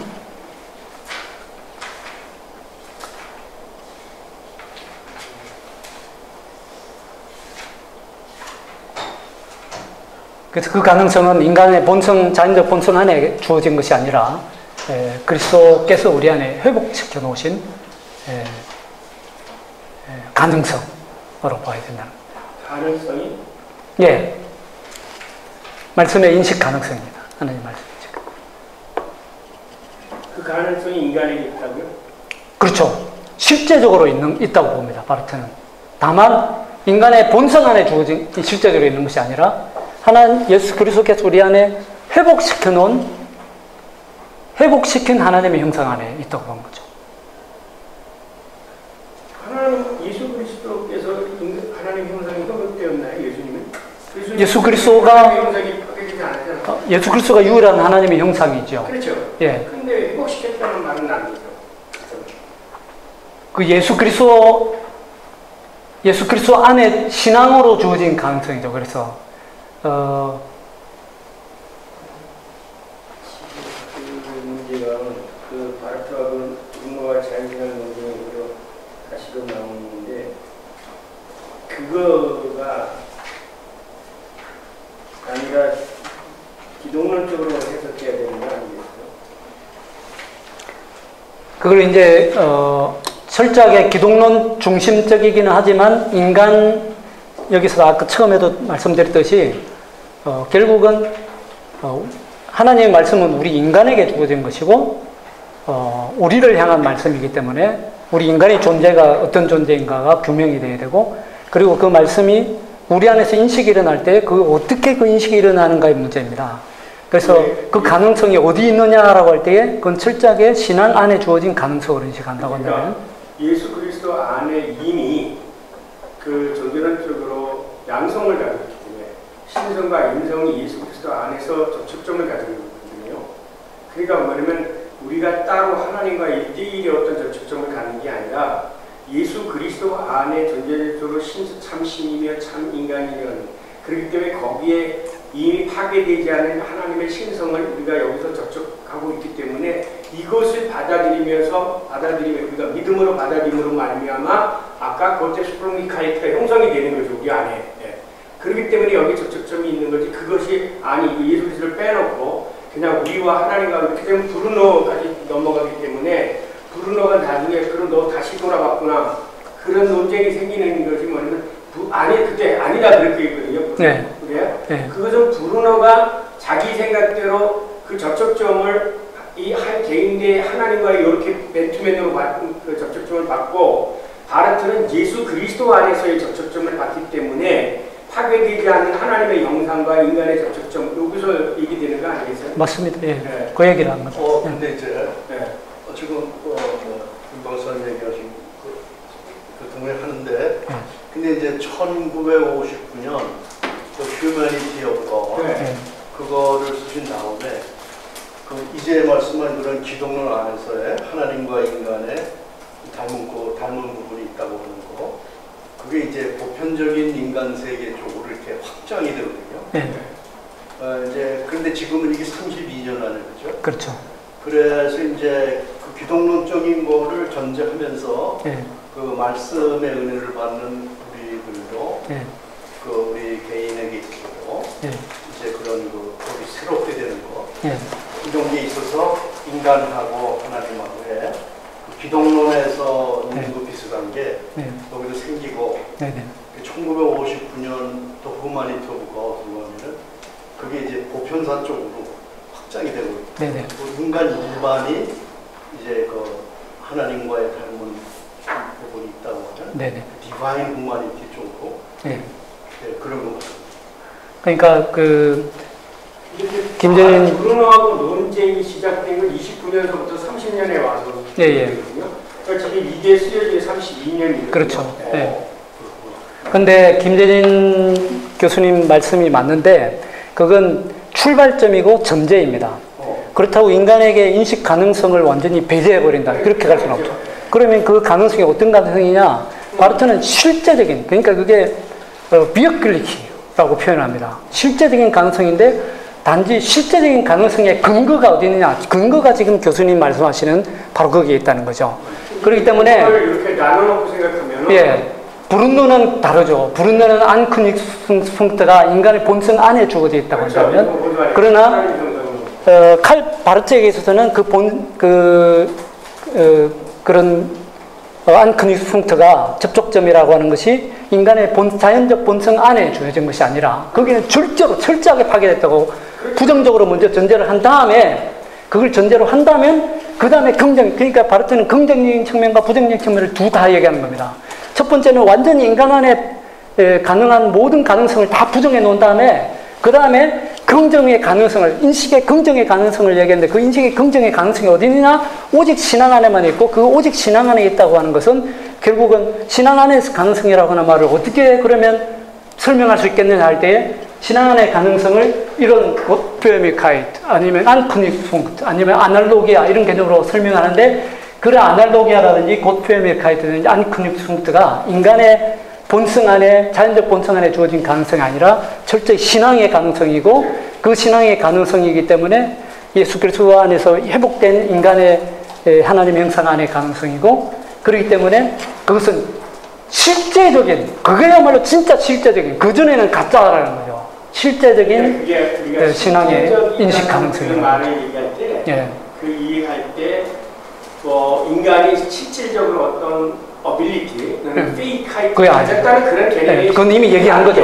예, 그건 이미 개념이 아니라 예, 바르트가 여기서 나중에 그 형상의 개념도 부부관계로 해석하잖아요. 네네. 정말 형- 그 관계, 언약 관계로 해석하기 때문에 예, 형상을 브루노와 같이 어떤 그 신적인 이해가 이제 지금까지 전통적인 그게 아니거든요. 그렇죠. 그러니까 부부 관계 속에서 여기서 그 형상이 안, 부부와 남, 남녀와의 관계 안끊인 거죠. 음. 그 다음에 여기 예수 그리스도 안에 있는 신성과 인성과의 접점점.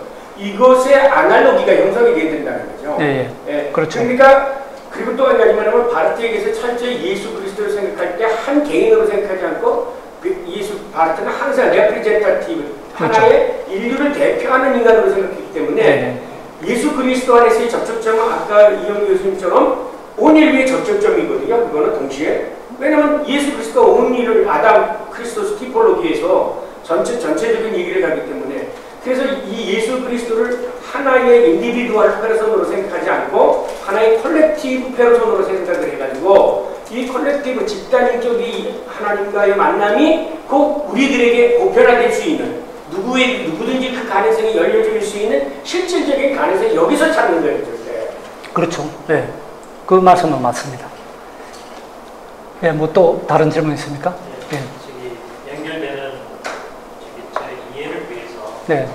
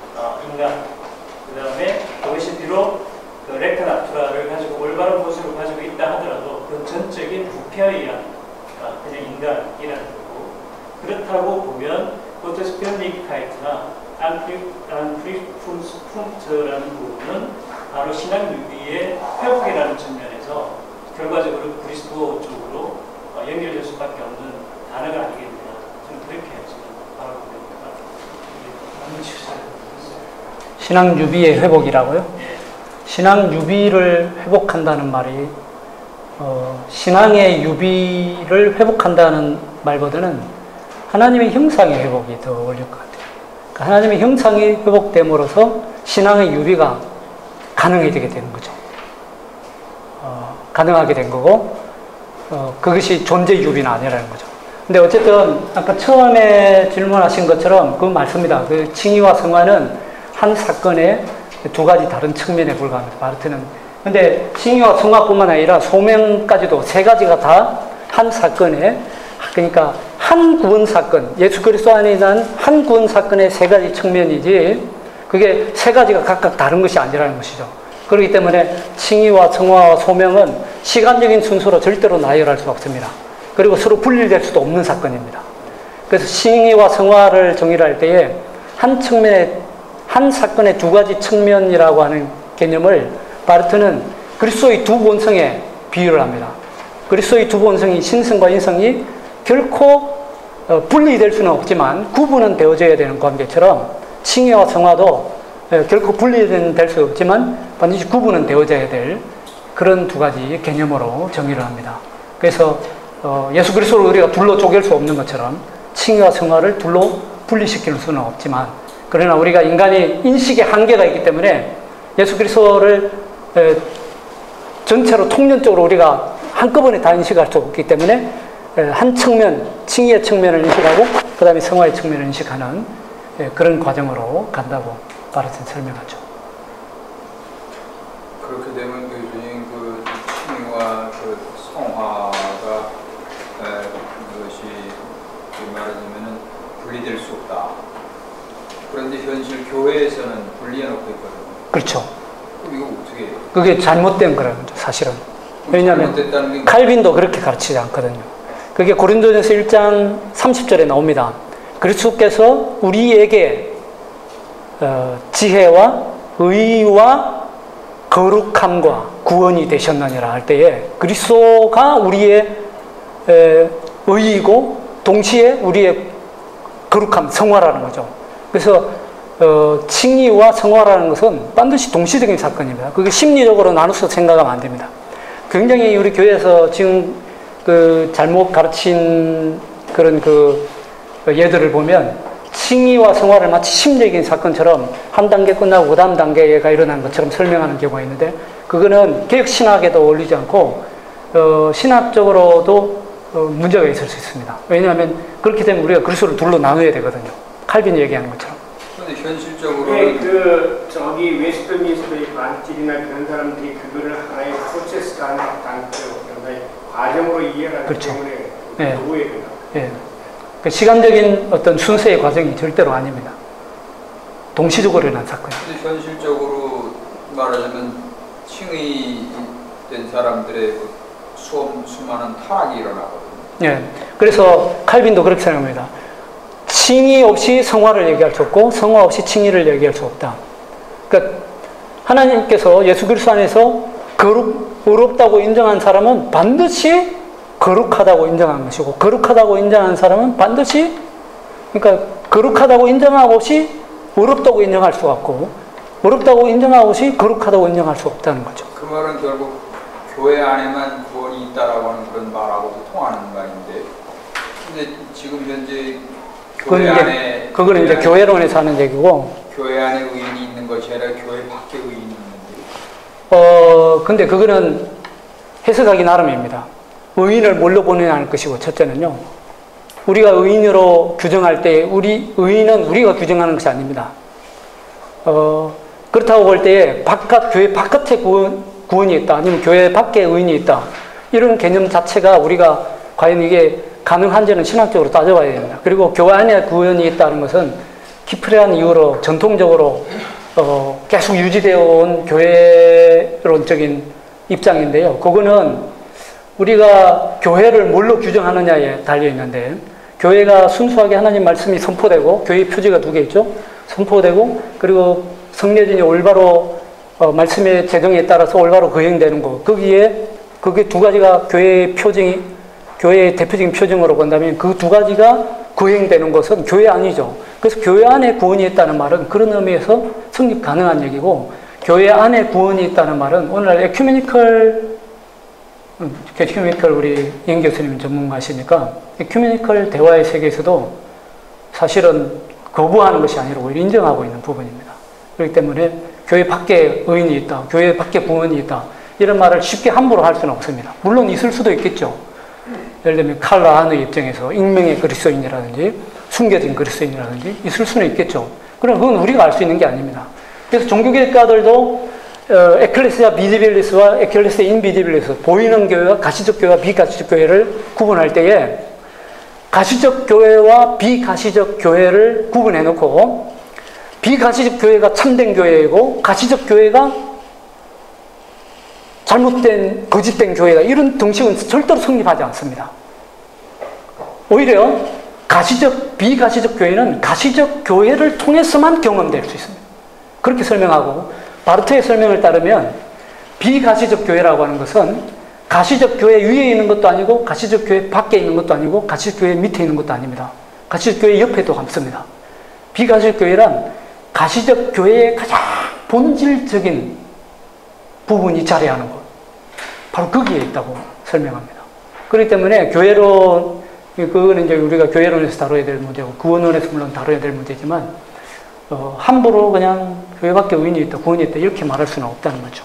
교회 교회 밖에도 구원이 있다라고 얘기하는 것은 로마서에 보면은 말하자면 이 세상 사람들이 자신들의 본성으로 율법을 지키면 그것이 그들의 율법이 되고 또 교회 안에 있는 사람들이 율법을 지키지 않으면 그것이 말하자면은 이 네. 타락된 것이다라고 얘기하는. 그한 부분에서만. 아니 한 부분이라고 하더라도 예, 중요한 물론 그 한 부분에서 가능성을 남겨놓고 있지만, 그러나 99.999%가 바르트는 교회, 물론 뭐 바르트도 뭐 교회 집중적이라보다는 그리스도 집중적이죠. 그리스도 집중적인 구원을 얘기하고 있으니까, 물론 그런 뭐 자연의 어떤 가능성, 어, 그런 것을 우리가 완전히 배제할 수는 없겠지만 한 가지 한 가지 어떤 가능성으로 남겨놓고 있는 것이 그것이 주가 될 수는 없겠죠. 제 네, 그러면 네. 같은 의미라고 말씀하시나요? 어 그렇지는 않습니다. 바르트도 그렇게 얘기하지는 않죠. 어, 교회는 어, 이르드시에게 슈탈트 어, 예수 그리스도 예수 그리스도의 이 현세적인 세상적인 형태이다 몸의 형태이다 이렇게 설명합니다. 그렇기 때문에 어, 예수 그리스도의 지상적인 형태로 우리가 이해를 해야지 그 예수 그리 교회 자체가 하나님 말씀으로 해석하지는 않습니다.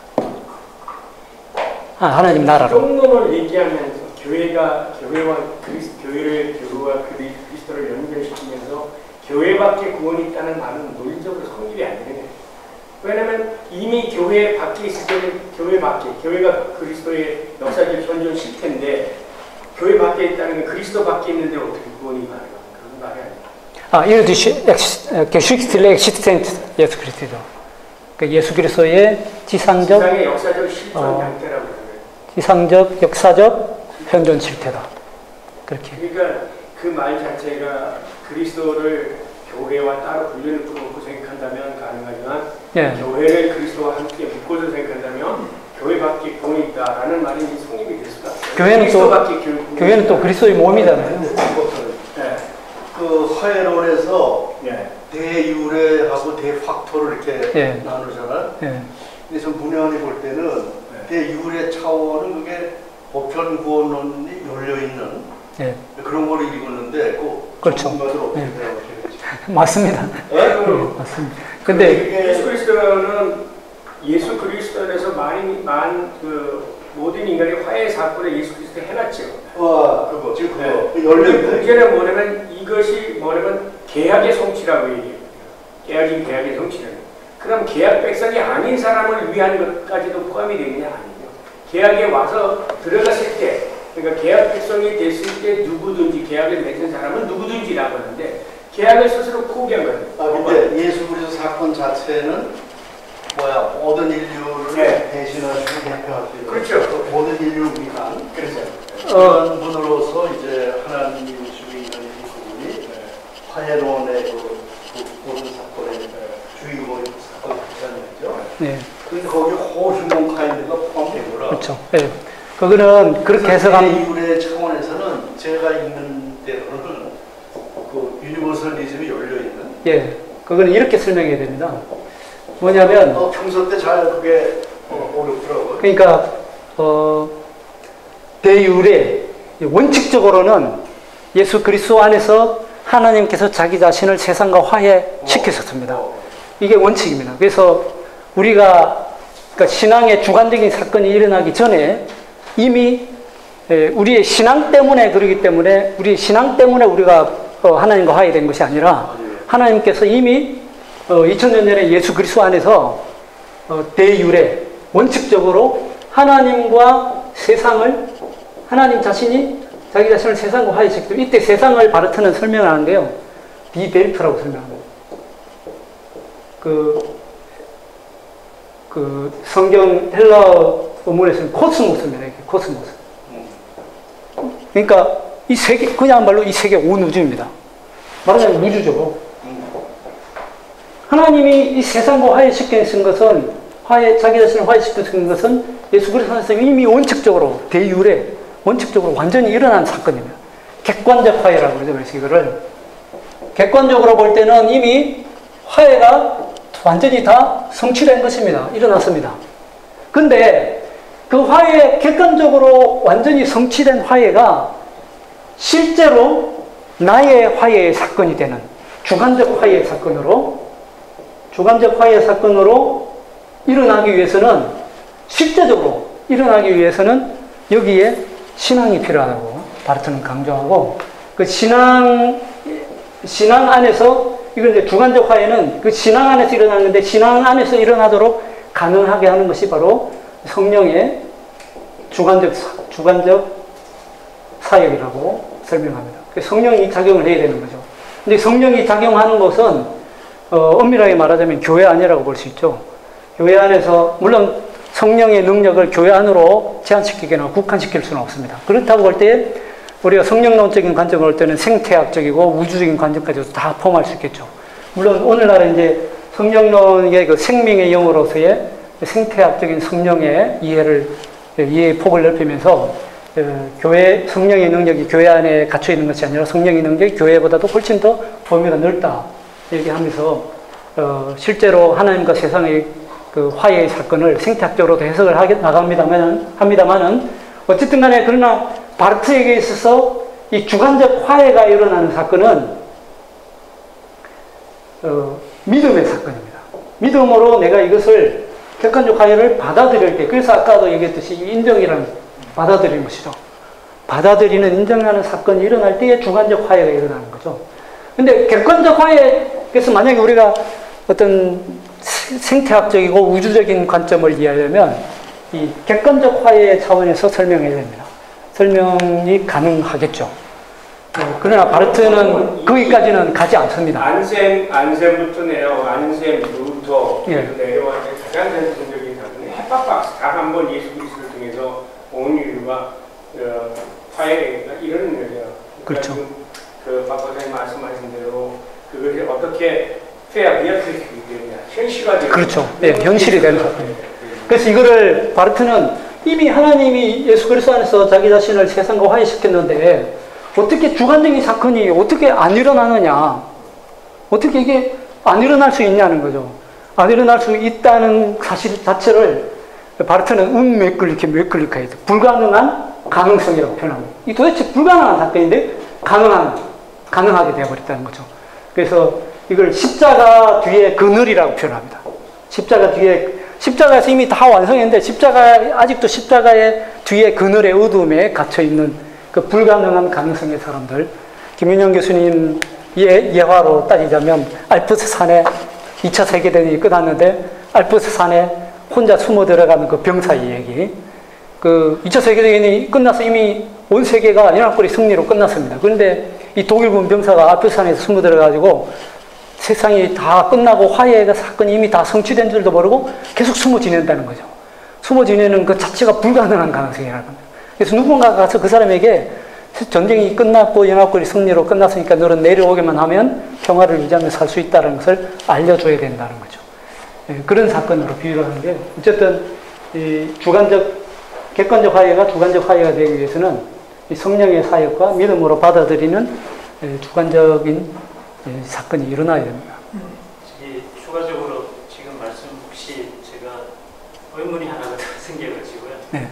지금 대유라고 데파크토를 설명을 하실 때 네. 하나님의 화해 사건 내에서 그것을 객관적인 어떤 계시의 사건으로 설명을 하실 때 네. 어쨌든 그 설명의 전체적인 내용이 어, 첫 번째는 객관적으로 전 우주적으로 화해를 하셨고 그 다음에 주관적으로 나와의 화해가 이루어졌다라고 설명을 하셨는데 그러면 슐라이어마허의 주관적인 어떤 계시 그 부분과의 차이점 즉 뭐냐면 바르트가 객관적인 계시라고 얘기할 때는 오직 예수 그리스도를 통해서 먼저 객관을 시키고 그 다음에 나의 어떤 성령의 어떤 그 화해 사건으로서의 그 나의 어떤 화해를 얘기를 했는데 지금 말씀하시는 내용으로 보면은 사실은 슐라이어마허하고 어떤 부분이 다른 점이 있는지 그걸 좀 의문스럽습니다. 슐라이마커는 완전히 반대죠. 그 슐라이마커는 이 지금 이 과정을 완전히 슐라이마커는 거꾸로 뒤집어 간다고 보면 됩니다. 그러니까 어, 슐라이마커에게 있어서는 이 객관적 화해보다는 주관적 화해가 훨씬 더 앞서는 거죠. 그러니까 화해라고 하는 것도 내가 인간의 의식 속에서 주관적인 의식 속에서 그러니까 자 의식 신학이라고요. 내 인간의 의식 속에서 내가 에, 그렇게 화해됐다고 느끼는 것, 어떤 절대 의dom적인 감정으로서 느끼는 것이 화해입니다. 근데 어, 바르트는 완전히 철저하게 위로부터 시작하는 거죠. 어, 철저하게 위로부터 시작하고 바르 슐라이마커 같은 경우에는 오히려 주관적인 인간의 주관에서 출발한다고 보면 됩니다. 완전히 방향이 거꾸로입니다.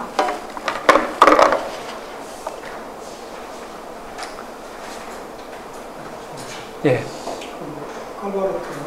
음악대의를 설명할 때 하나님과 어떤 관계적 측면에서 전제하는 자질면에 대해서 관계적 측면이죠. 절대, 예.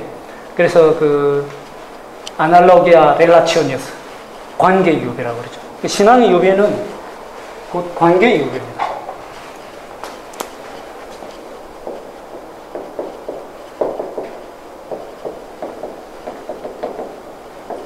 관계 유비입니다. 이게 신앙의 유비, fides, analogia fides라고 하는 것. 아까 그 얘기가 나왔으니 말이지만 그 우리가 사실 그 실질적으로 그냥 터미널로 아날로기아 피데, 뭐 아날로기아 엔티스를 이렇게 얘기를 게 학계에서 학생들인데. 자 아날로기아 엔티스는 존재력 정도로 있으니까 여기 있는 게 여기 있고. 그래서 어, 이 이해가 되는데 아날로기아 피데에 대한 설명이 이렇게 명백하게 이렇게 얘기가 되지질 않거든요. 네. 지금 여기 이 책에서도 음. 이렇게 아날로그가 CD를 이렇게 쓰고 있는데 네.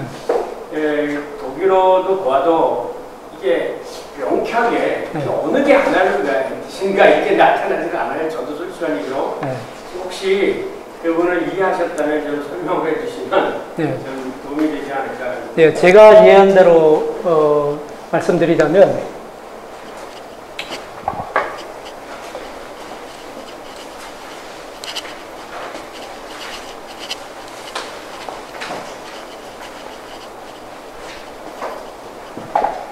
그 아날로기아 엔티스라고 하는 개념은 이게 이제 그 어, 토마스에게서 나온 거죠? 토마스. 토마스적인 개념인데, 어, 그러니까 하나님의 존재와 우리 인간의 존재 사이에 그 유비가 있다는 거죠. 그- 그것도 유비가 존재론적인 유비라는 거죠. 존재론적인 유비. 존재론적인 유비라, 유비가 성립 가능한 이유가 뭐냐면, 결국은 그, 우리가 그, 이 토마스가 받은 아리스토텔레스의 영향 때문이죠. 아리스토텔레스의 그 형이상학적인 이해, 그러니까, 어, 부동의 동자라든지 제1원인이라든지 이런 것들이 사실은 우리 이 세상에 있는 존재로부터 출발하잖아요. 존재 안에 어떤 원인이 하나 있는데 그 원인의 원인, 그 원인의 원인을 찾아가서 더 이상의 원인도 없는 제1원인을 찾을 때 그 제1원인 신이다. 하나님으로 이해를 하니까 이 존재론적인 유리가 이미 성립이 가능한 거죠. 부동의 동자도 마찬가지죠. 어떤 움직이는 것이 있는데 그 움직이는 것을 가능하게 움직이는 것, 동자들이 계속 어, 존재론적으로 출현해 가볼 때에 에, 더 이상 자기는 움직이지 않으면서 다른 것을 움직이게 하는 어, 제1동자. 그것이 곧 신이다. 그러니까 하나님과 인간 사이에는, 인간의 세계 사이에는 존재론적으로 이미 유비가 형성이 되어 있는 거죠. 어, 그래서 우리가 하나님을 인식한다고 할 때에, 네, 그 인과 법칙에 의한 설명이고요. 인과 법칙의 존재의 유비는 신에게 있는 요소가 인간에게도 있다는. 그렇죠. 그리고 왜 그게 가능하냐면, 네. 여기서도 설명이 가능한데요. 왜냐하면 우리가 그러면 하나님을, 이런 하나님을 인식한다고 할 때에, 인식한다고 할 때, 우리가 여기서부터 추론해 가면 하나님을 인식할 수 있다는 거죠. 그러니까 여기에도 하나님의 그런 그 존재론적인 유비의 요소들이 있다는 거죠. 근데, 어, 신앙의 유비라는 것은 지금 바르트식으로 표현을 한다면, 어, 적어도 하나님과 인간 사이의 그 관계를 얘기할 때에 우리가 어, 지금 말씀의 인식을 다루는데 뒤에 에, 가보면 계속 이 유비의 개념이 나오는데 하나님과 인간 사이에 바르트는 기본적으로 아까 얘기한 그 Anknüpfungspunkt나 아니면 imago Dei라든지 아니면 어 그런 analogia analogia가 있다는 거죠. analogia가 있다는 그 자체를 부인하지 않습니다. analogia 그래서 어 제가 여기는 쓰지를 못했는데 그 왜냐하면 이 지금 우리가 다루는 절에 그 조그만 그런 그 글씨로 된 그 난해 부분이 있죠. 주석 부분에 바르트는 그렇게 밝히고 있습니다. 자기는 아날로그 개념 자체를 부인하고 싶지는 않다. 아날로그가 있다는 것을 인정한다는 거죠. 하나님과 인간 사이에 유리가 없다면 우리가 하나님을 어떻게 인식할 것이며 그리고 하나님 말씀을 또 어떻게 인식할 것이며 그리고 신앙이란 또 어떻게 가능할 것인가 이 문제라는 거죠. 하나님과 인간 사이에 도대체 관계가 성립이 되기 힘들다는 거죠. 뭔가 유비가 있기 때문에 에, 그런 관계가 성립되지 않느냐. 그렇다고 할 때에 그 유비가 있다는 사실 그 자체는 바르트가 어, 부인하지는 않지만 그러나 이 유비라는 것이 예, 토마스가 말하는 대로의 그런 유비는 결코 아니다. 다만 유비가 있다면 그건 우리가 믿음으로 받아들이는 신앙의 유비가 있을 뿐이다. 이런 개념으로 신앙의 유비를 설명하는 거죠. 우리가 믿음으로 인정하고 어, 인식하고 그리고 고백하는 그런 유비가 있을 뿐이지 그 유비 자체가 존재의 유비는 아니라는 겁니다.